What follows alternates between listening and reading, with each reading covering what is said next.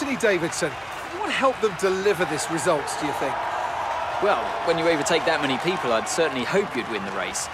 Their car was really effective in the slipstream here today, and the team will be pleased that they didn't cook the engine, given how long they were spending in the hot air behind other cars.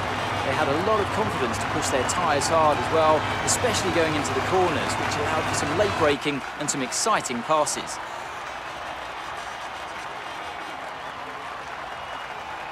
A show-stopping performance from the three drivers approaching the podium right now.